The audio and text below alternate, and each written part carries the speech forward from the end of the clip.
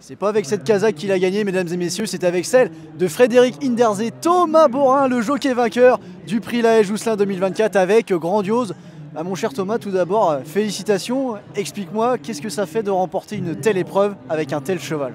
Bah, Ça fait chaud au cœur, c'est riche en émotions. Je réalise pas encore, je l'avoue, euh, parce que j'ai enchaîné la course après, mais euh, dans tous les cas, c'est un super moment. En plus, il y euh, voilà, il y a quand même un peu de pression parce que malgré que je connaissais le cheval, euh, je montais quand même le cheval du, dernier grand steeple. Euh, je remplaçais Clément au pied levé. Donc voilà, il y avait quand même beaucoup de pression. Donc il fallait que tout se passe bien.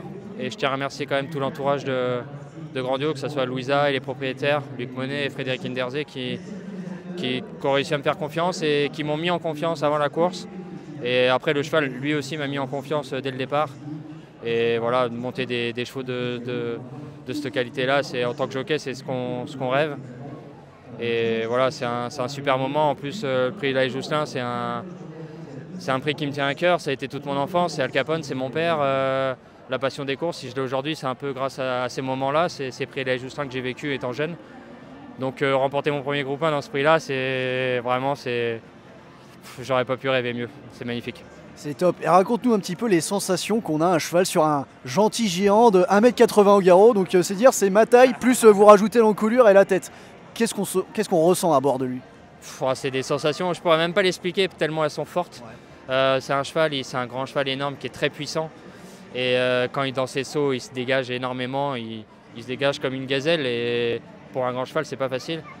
Et il nous met des, enfin, il met des coups de garrot il nous met des coups de garrot et on sent vraiment le cheval se décomposer sur tous ses sauts et c'est magnifique, vraiment magnifique, c'est vraiment des grosses sensations.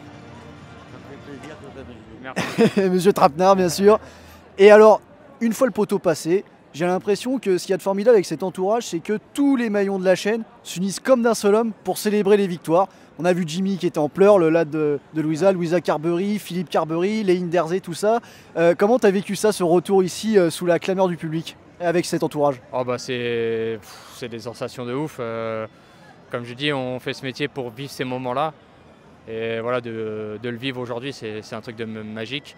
Et voilà, ils sont amoureux de leur cheval et leur, le, voilà, Grandiose leur rend, leur rend. Et voilà, ils se donnent à fond, ils s'investissent à fond dans, dans les courses. Et euh, voilà, pour, pour avoir ces chevaux-là, et bah, quand ça se passe bien comme ça et qu'ils apportent tout le bonheur qu'ils souhaitent, bah, c'est vraiment magnifique et c'est des passionnés et ça fait vraiment plaisir de gagner pour, euh, pour eux. Tu as senti que tu as amené de la fierté pour ces gens-là, mais aussi pour ta famille, parce que tu as été soutenu, ton épouse Marine, tes enfants, Loris et Sophie. Euh, tu, es conscient de la fierté que tu as pu provoquer euh, aujourd'hui? Bah ouais, totalement. Je sais que bon, j'ai pas regardé mon téléphone, mais je pense qu'il y a plein de gens qui me suivent.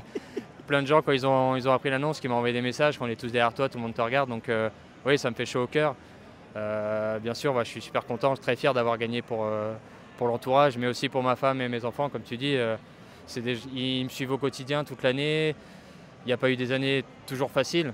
On a eu connu des hauts, des bas. Euh, mais voilà, ils sont toujours là derrière moi pour me soutenir.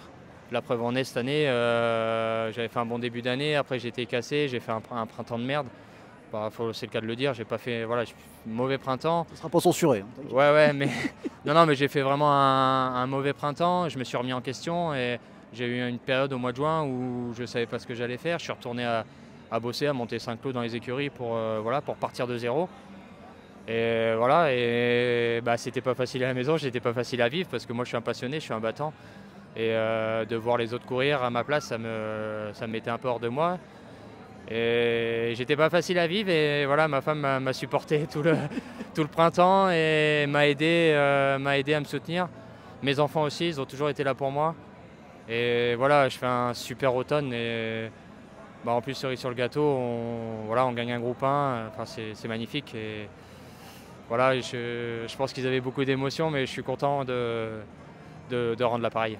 Et plus que jamais, comme à l'exemple un Johnny Charon, parce que sans te faire offense, tu commences un peu à faire partie des, euh, non pas des plus vieux, mais des plus expérimentés, je préfère ce terme-là, chez les jockeys d'obstacles. Euh, ça te donne plus que jamais d'aide main de remettre le bleu de travail et euh, prendre toutes les courses euh, et les belles courses qui s'ouvrent à ta disposition dans toutes les disciplines de l'obstacle?